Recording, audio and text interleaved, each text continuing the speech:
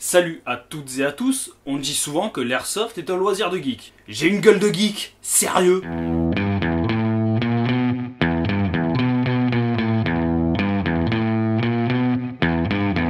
C'est bien connu, on vit dans une société qui colle des stéréotypes et des étiquettes à tout.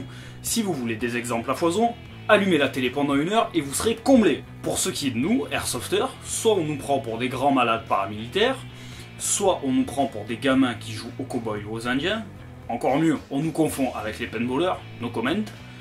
Et après, on se fait traiter de geek.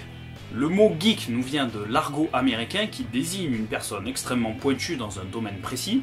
Ce qui rend cette personne étrange aux yeux des autres, c'est toutes ces connaissances qu'elle a amassées dans un domaine bien spécifique.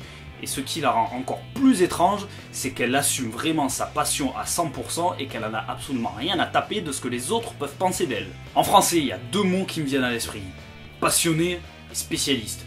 On est tous forcément geeks dans un domaine, que ce soit un métier, un sport, un art, peu importe. C'est obligé. Et vraiment, si ça n'est pas votre cas, eh ben, je suis désolé pour vous, mais vous avez vraiment une vie de merde. Encore une fois, ça nous prouve bien que la plupart des gens parlent sans s'être renseignés un minimum avant. La plupart voient le geek comme un espèce d'animal bizarre qui vit cloîtré chez lui, coupé du monde 24 heures sur 24 en train de siroter de la Red Bull devant une console ou un PC, alors que ceux qui pensent ça sont affalés dans leur canapé en train de naviguer sur leur smartphone devant les anges de la télé-réalité et en train de boire l'apéro. On est d'accord, c'est vraiment deux gros clichés, mais ça résume bien l'hypocrisie dans laquelle on vit au quotidien.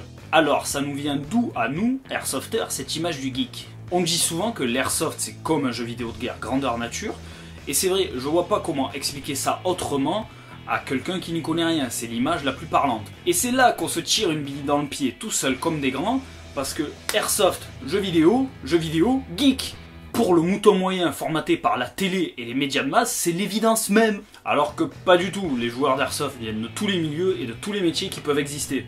Entre jouer à Call of Duty, rester enfermé devant un PC et ne pas voir la lumière du jour, et être dehors, à l'air libre, courir avec mon équipe, me dépenser, avoir des sensations qu'on trouvera jamais derrière un PC, comme l'adrénaline, la fatigue, une certaine peur, une certaine angoisse, la cohésion de groupe, l'esprit d'équipe, le partage de la passion qui nous réunit tous au même endroit, honnêtement, pour moi, le choix, il est très vite fait.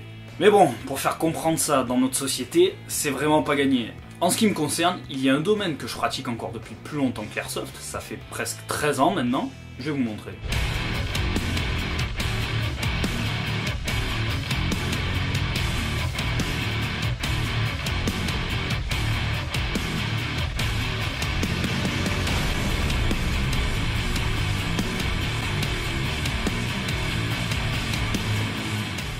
Vu la définition du mot geek, c'est là où je suis un putain de gros geek. Et croyez-moi, je suis vraiment heureux et fier d'en être devenu un. Je vais reprendre une phrase que j'adore. Le con a toujours raison parce qu'il est nombreux. Et on est vraiment, vraiment en sous-effectif, les amis. Il ne faut surtout pas avoir honte du loisir, du sport, de l'activité qui vous passionne. Si on vous critique, si on se moque de vous, si on ne vous comprend pas, n'y prêtez surtout pas attention ignorez ces personnes-là parce que ça serait leur accorder beaucoup trop d'importance et faites-le avec le sourire, vous verrez, ça leur mettra encore plus les glandes. Ça y est, on arrive à la fin de cette vidéo, j'espère que ça vous a plu. N'hésitez pas à la liker et à la partager. Dans la description de la vidéo, il y a le lien vers la page Facebook Hunter TV et le compte Instagram Hunter TV. Je vous dis à très bientôt pour une prochaine vidéo et surtout n'oubliez pas, l'airsoft c'est juste un jeu et surtout pas un jeu vidéo.